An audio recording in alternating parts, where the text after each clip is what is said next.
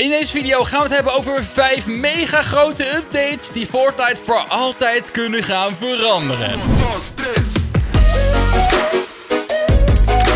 Ja, een aantal maanden geleden hebben we al zo'n grote verandering gehad. Namelijk de Zero Build Game Mode. Die heeft Fortnite voor altijd veranderd. En heeft heel veel mensen met zich meegebracht. En ik bedacht me dus vandaag, wat nou als er nog zo'n eh, soort grote update zou komen? Wat zou er dan gebeuren en welke updates zouden dit dan zijn? Dus laten we het daarover gaan hebben in deze video. En laten we ook gewoon meteen beginnen met de eerste. En dat is namelijk First Person. Hoe vet zou het zijn als Fortnite First Person gaat krijgen? Voor de mensen die dit graag willen hebben, ik heb goed nieuws voor jullie.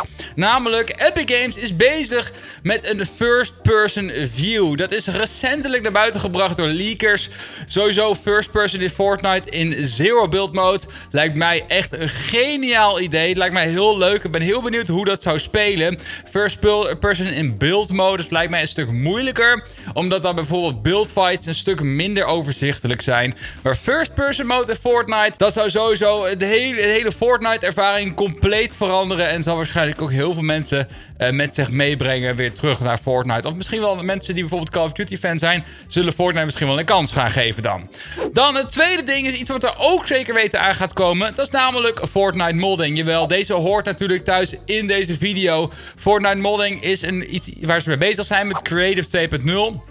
Je kan straks namelijk met Unreal Engine 5, dat is waar Fortnite op gebouwd is, kan je je eigen dingen gaan maken. Dus je eigen map, je eigen skins, je eigen wapens. Eigenlijk alles wat je in Fortnite hebt, kan je dan zelf gaan modden, kan je zelf gaan maken en kan, kunnen mensen dan ook gaan spelen. Dit wordt heel leuk, want dan kunnen we straks bijvoorbeeld ook uh, Fortnite roleplay gaan doen. Of wat je nu hebt bij GTA, wat heel groot is, natuurlijk 5M. Dus het, kan best wel een ding worden, dat Creators 2.0. Ik heb het al heel vaak behandeld, dus ik wil het er nu niet te lang over hebben. Laten we doorgaan naar het derde ding. Of wacht, ik wil eerst even wat anders melden. Namelijk, uh, iedereen die Sporter Credit Code te veel gevraagd gebruikt. Even een hele dikke shout-out naar jullie. Hashtag ad. En als je nou besluit om iets te kopen met onze Sporter Credit Code, stuur dan eventjes een bewijsje op naar onze Instagram. te veel gevraagd. En wie weet kom jij in een van onze video's. Oké, laten we dan nu doorgaan naar de derde update die Fortnite voor altijd zal veranderen.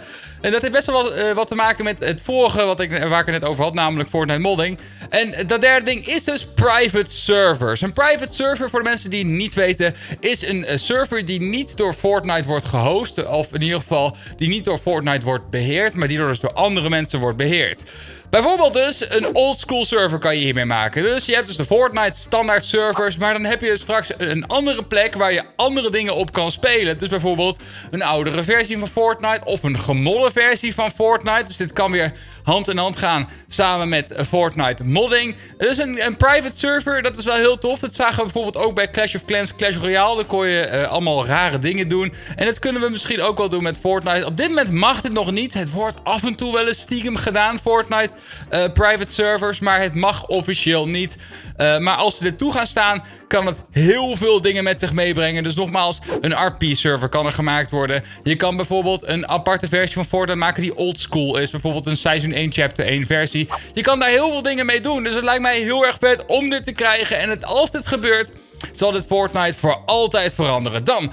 Het vierde, de, eh, de, vierde update die Fortnite voor altijd zal veranderen zijn weapon attachments of het creëren van classes. Dit heb je al in Call of Duty, dat je je eigen wapens kan modifyen. En er zijn ook al mensen die concepten hierover hebben gemaakt. En er zijn ook al wat leaks geweest dat het misschien wel kan gaan komen. Maar hoe vet zou het zijn als je bijvoorbeeld een, uh, een AR hebt, dus bijvoorbeeld een normale assault rifle. Dat je daarop een scope kan zetten, of een silencer, of een extended mag, of een laser, noem maar op. Het lijkt mij heel erg vet en het lijkt er natuurlijk een beetje op Call of Duty, maar ik denk wel dat dit in Fortnite past. Dus een weapon attachment systeem of een create a class systeem zal Fortnite voor altijd veranderen. Oké, laten we dan nu doorgaan naar de laatste update die Fortnite echt heel erg kan veranderen. En misschien ook misschien wel een best wel controversieel ideetje, maar ik denk wel dat dat vet is, namelijk Fortnite NFT's. Hoe vet zou het zijn als Fortnite zijn skins of cosmetics als NFT's zou gaan verkopen? Dit is wel iets waar niet iedereen fan van zou zijn. Want een NFT, voor de mensen die niet weten, een NFT is een non-fungible token. Dat is een soort van, eh, dan zet je je bepaalde... Ik ga het uitleggen. Ga het bij Google als je echt wil weten wat een NFT is. Maar je moet het een beetje zien als een kunstwerk, een digitaal kunstwerk... die echt van jou is als je hem koopt. Dus jij krijgt een soort van, je hebt een soort van code... en dan uh, heb jij die NFT, die is in jouw bezit. En die kan je dan ook weer doorverkopen verkopen. Dus dan krijg je een soort van handelplek in Fortnite. Bijvoorbeeld een Habbo die doet dit al. Voor de mensen die Habbo kennen, daar kan je dus NFT's van kopen. En die kan je weer verkopen. Daar kan je geld mee verdienen of geld mee verliezen. Daar moet ik er ook even bij zeggen, want het is niet altijd verdienen in de NFT-wereld. Maar het zou wel, ik zou het wel interessant vinden. Nou is de doelgroep van Fortnite niet dezelfde doelgroep als de mensen die NFT's verhandelen.